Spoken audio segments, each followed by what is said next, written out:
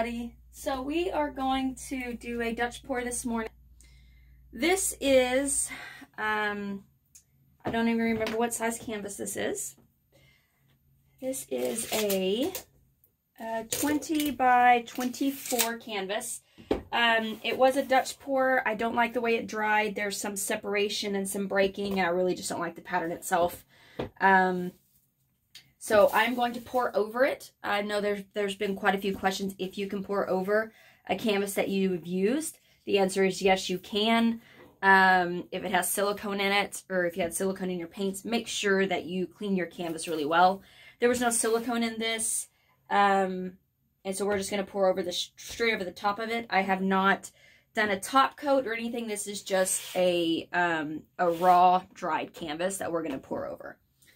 So um, our colors today are, um, our flood color is actually going to be, and it's not really going to be a flood, but it's going to be this Deco Art Matte Metallics Soft Silver. And this stuff is super thick. So um, normally my Dutch pours are a 4 to 1 ratio. This one is a true 4 to 1, but I did add some water to it. So um, if you can see how thick this paint is, it just it's probably some of the thickest paint I've ever used. Um, it's kind of like molasses. So I did have to add some water to thin it out a bit just to get movements. Um, but this one was uh, 10 ounces of pouring medium, 2 ounces of paint, and 0.5 ounces of water to, to thin it out and give us a good consistency. It's still a little bit thicker than I would normally like for a Dutch pour, but if you add too much water into it or you cut back on your paint too much, that's where you get the separation and the breaking and the pigment separating. So, um, yeah, we'll see what happens.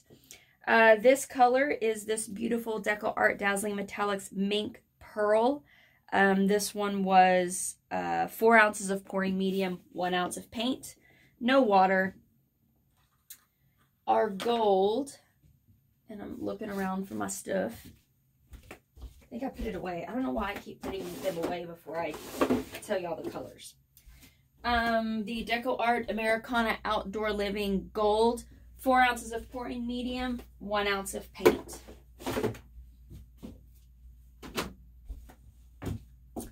This beautiful um, kind of a brick red, dark red color we have here. It's four ounces of pouring medium, 0.8 ounces of the traditional burnt sienna by Deco Art, and then um, 0.2 ounces of the Deco Art Media Fluid, Fluid Acrylics Primary Magenta. This color is our Wildflower, so Americana Outdoor Living Wildflower, 4 ounces of pouring medium, 1 ounce of paint. And then this um, kind of a orangish red color 4 ounces of pouring medium, 0.5 ounces, sorry, 0.4 ounces of cadmium orange hue, and 0.6 ounces of the primary magenta. Remember, I measure all of my paints as I'm um, getting everything ready. That way I can recreate all of the colors. Helps with consistency. Link is down in the description. I get them for about 8 bucks on Amazon. I have quite a few of them because I actually use them in my painting class um, where everybody uh, mixes their own paints and all that kind of stuff. Uh, I give them a little chart with how much, what the ratios are for what they're doing, and they mix all of their own paints. I check all their consistencies, make sure it's fully um, stirred up and all that kind of stuff, but I, I try and have them do everything themselves. Had to get some coffee. This is my new coffee mug that I got at Six Flags.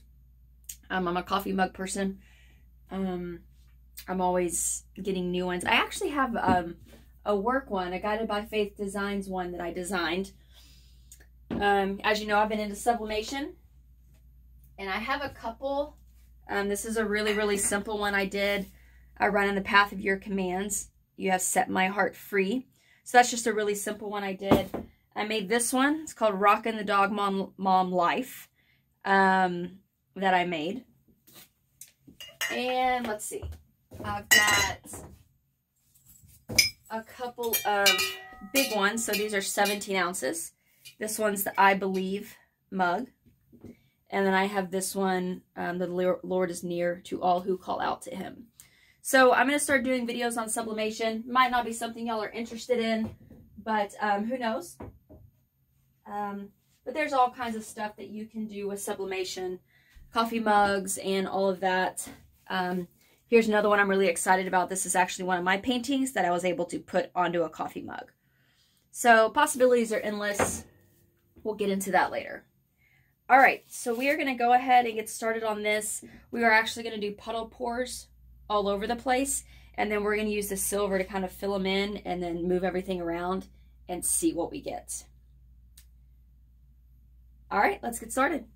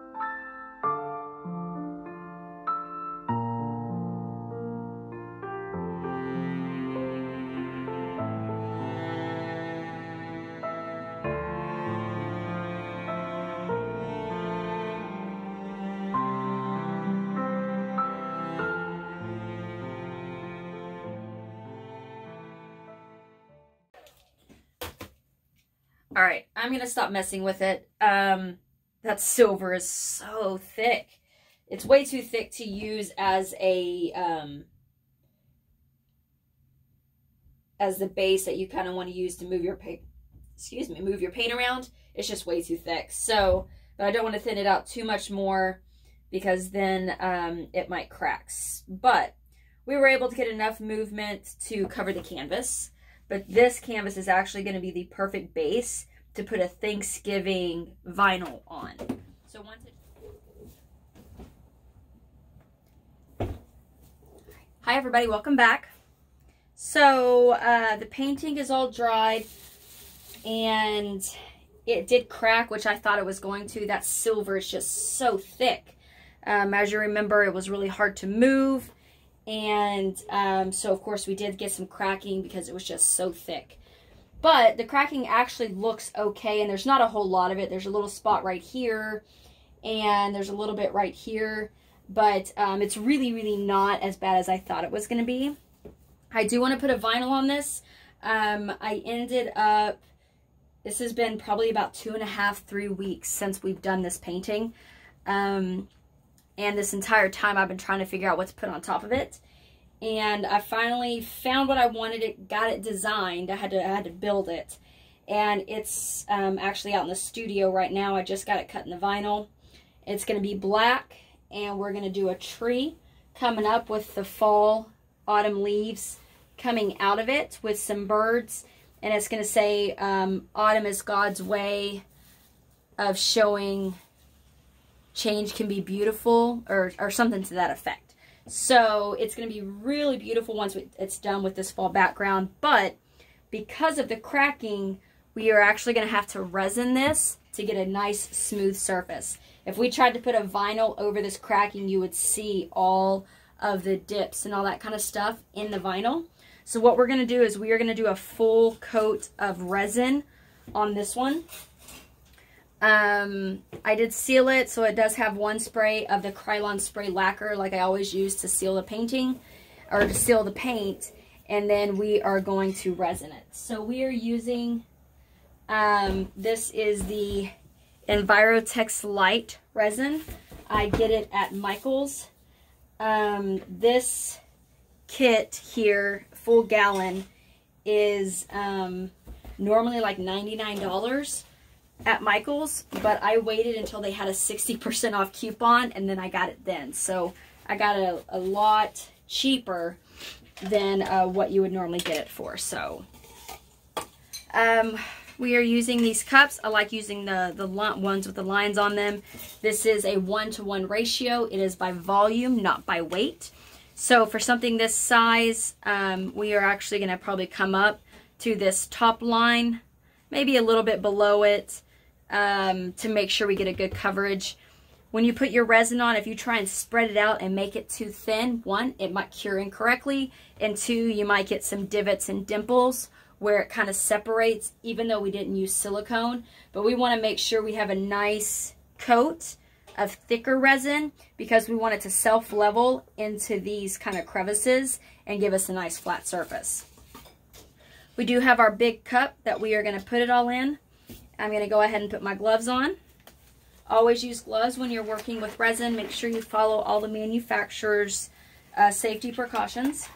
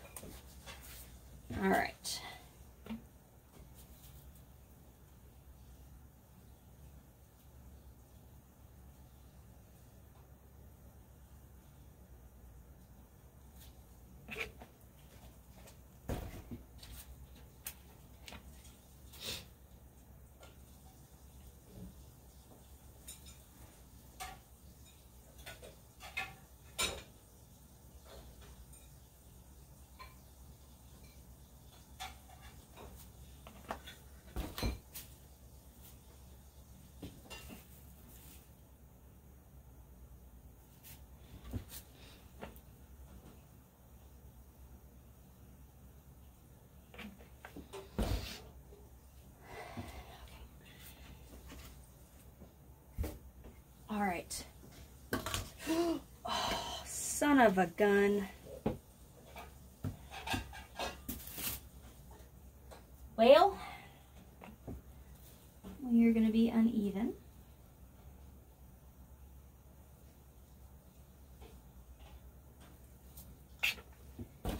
See if I can save some of that.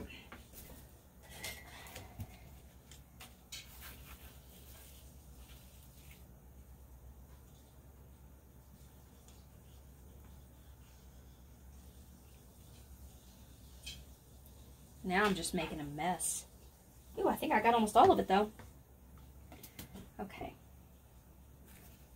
But I am going to have to start a new cup because uh, that is all over the sides and now I can't be sure that our mixtures are the same level.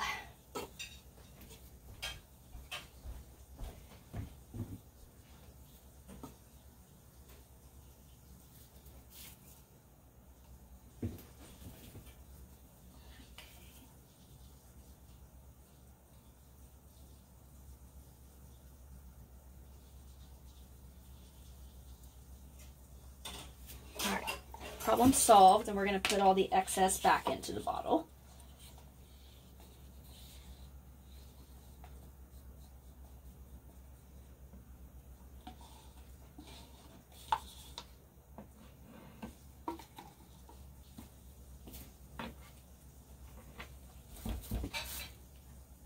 Okay, let's try this again without spilling stuff everywhere.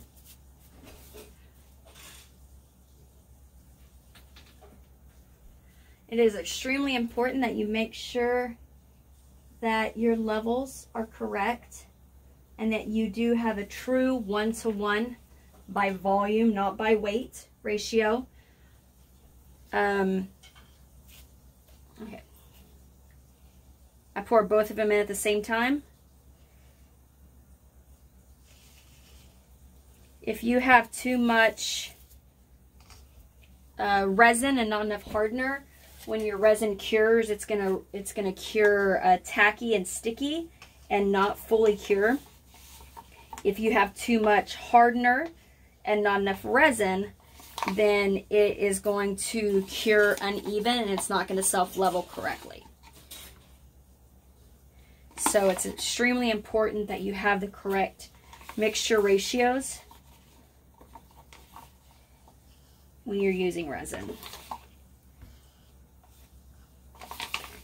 Make sure you scrape the sides and the bottom of the cup, get it all. Okay, now what we're going to do is we are going to mix it up. Making sure you turn it over. See, right now it's really cloudy. I don't know if y'all can see that. It's really cloudy right now. So what we're going to do is we are going to stir until it is clear.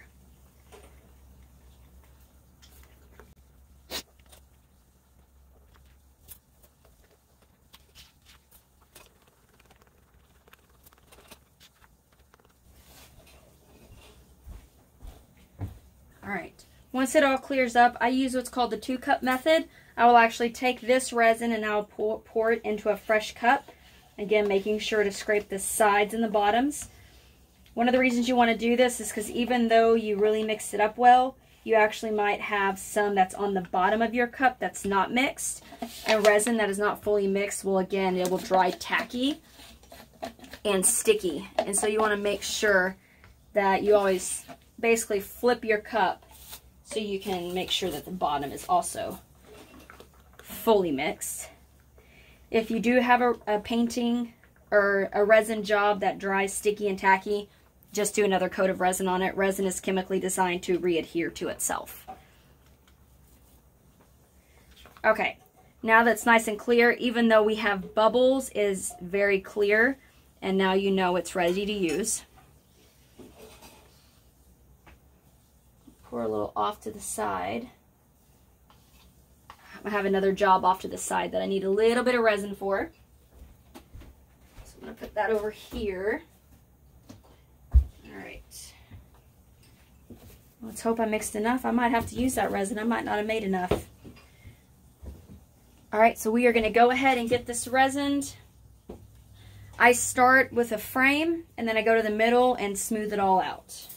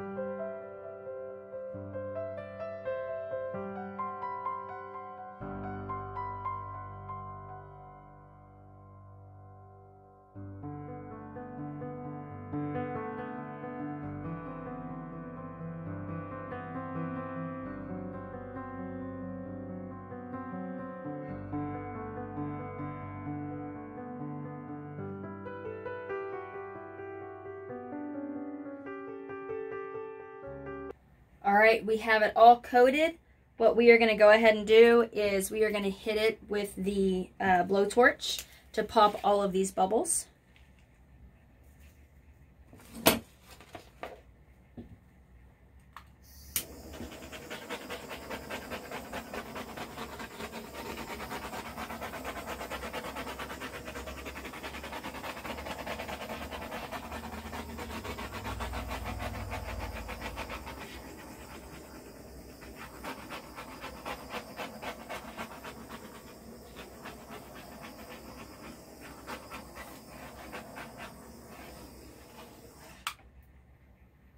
Sorry, saw a gnat. I tried to fry him so he didn't land on my painting.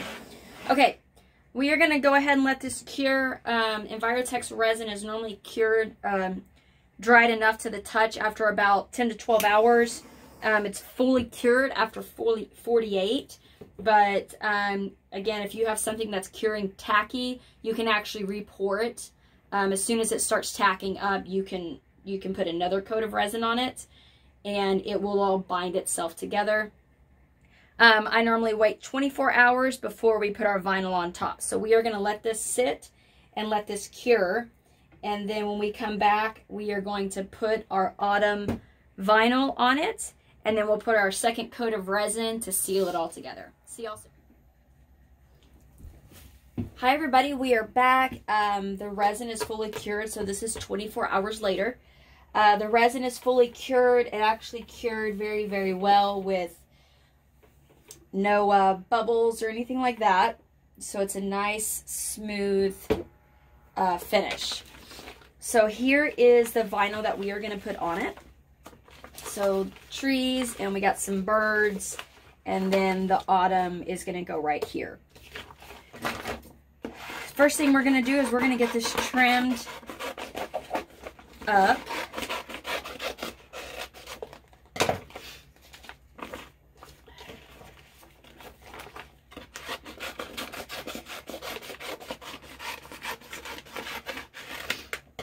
All right, so transferring vinyl onto resin um, is actually very, very easy.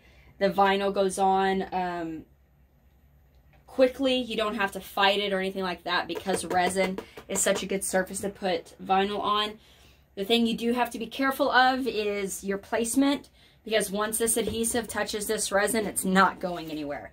So just be very, very careful um, when you're applying it and grab my cutting board over here. Okay, so first thing we are going to do is we are going to take our transfer paper, which is right here, and that fits perfectly. So if you order any vinyls from me, um, they will actually come already on the transfer paper and ready to go so you don't have to do this process. And uh, this painting is 20 by 24. And because my Cricut Maker only prints 12 by 24, we had to break it up and cut it in sections.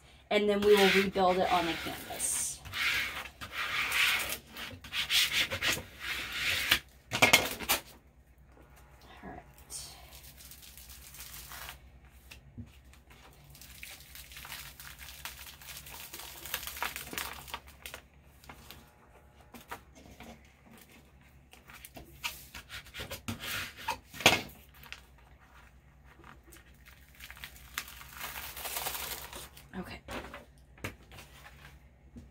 That off.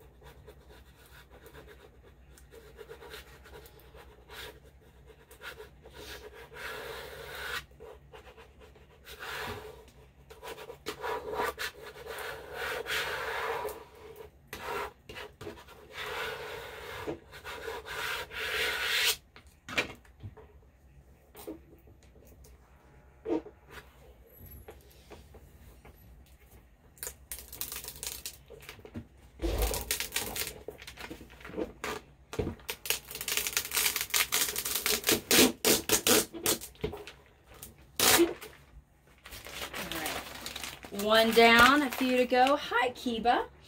I will be right back. Kiba just got back from his morning walk with his daddy, and he deserves his cookie. Be right back. Okay, he has his cookie and a empty jar of peanut butter. So we are going to put on the next piece.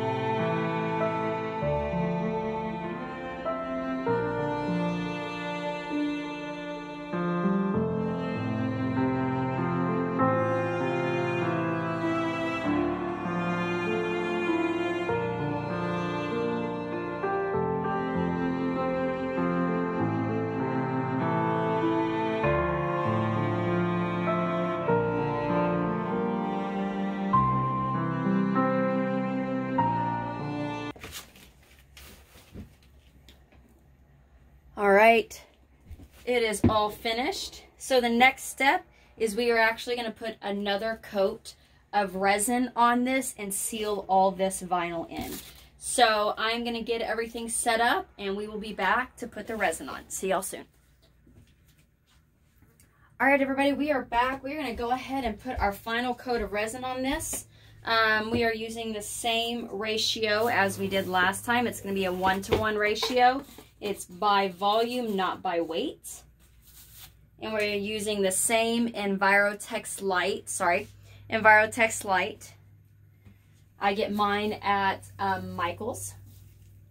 So this is the same resin we put on the first coat. And if you are going to use resin, um, the top and the bottom, I would suggest using the same resin um, on the top and on the bottom. I wouldn't mix resins.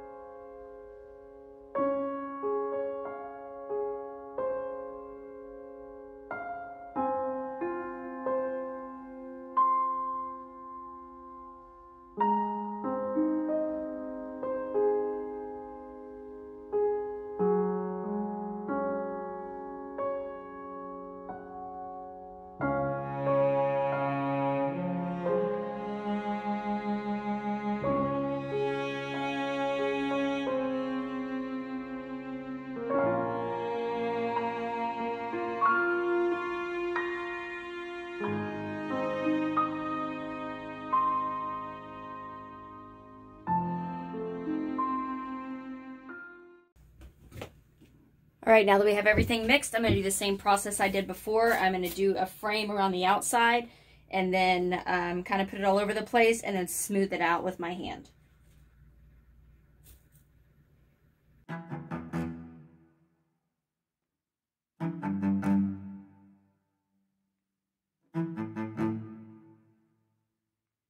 Thank you.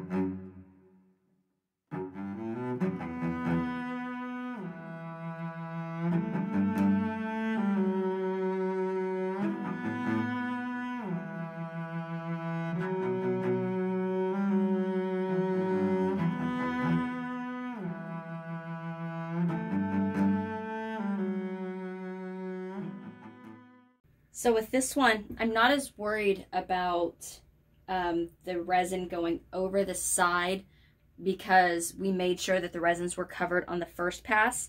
On this one, I want more resin to sit on top and hopefully is going to give us a really good smooth um, transition into the to the edges. Now on the first coat, some of the edges did pull away. That's actually natural, even though we didn't use silicone or anything. And that's just gravity just kind of pulled those over. So now what we're doing is we're just going to go around and make sure that that resin grabbed all of the edges. Or all of the sides, I guess you could say. Well, maybe I guess that would be edges. Now remember, resin is self-leveling. So I'm just going to go around the edge and make sure it's grabbed on all places. And then very, very lightly, I'm trying, I'm not pushing the resin over the side, I'm just very gently smoothing it out. Like here I can see a, there we go. And when you're doing this, it really helps to have a light in front of you, um, whether it be a lamp or anything like that because what you can do is you can actually use the reflection of the light. You can get down low and use the reflection of the light, and that's going to tell you if you have any holidays or any of that kind of stuff. I don't see any, so I think we're good. So I'm just going to do one more smoothing pass. Very, very gently. Sorry about the dog in the background.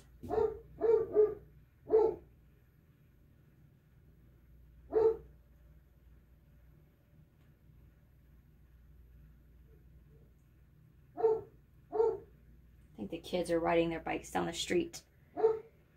And the dogs outside are barking, so the big guy inside is barking.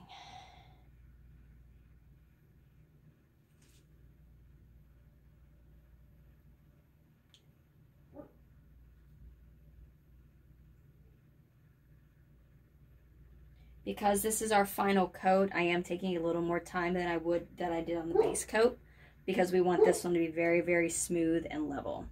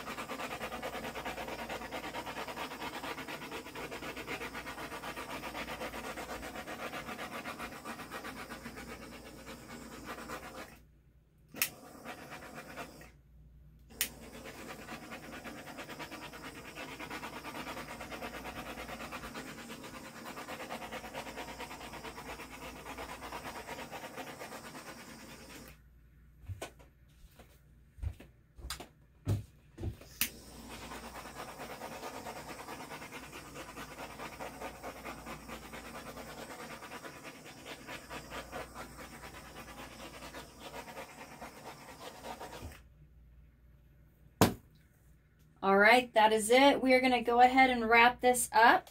Thank you very much for watching. I hope you enjoyed it. Down in the description below, you will find links to my Instagram, Facebook, Pinterest, Twitter, as well as my website, guidedbyfaithdesigns.net. I've spent most of the day today getting some vinyls um, patterns uh, formatted and ready to load to the website, so a whole bunch of new stuff should be coming soon. So go check that out. Also down in the description, all of the paint colors used is everything that you need to recreate this painting. Again, I hope you enjoyed it. I hope you all have a wonderful and blessed day. Um, I will post the up-close shots and the finished product at the end of this video, and it will be available on my website soon at guidedbyfaithdesigns.net. Everybody have a blessed day, and God bless.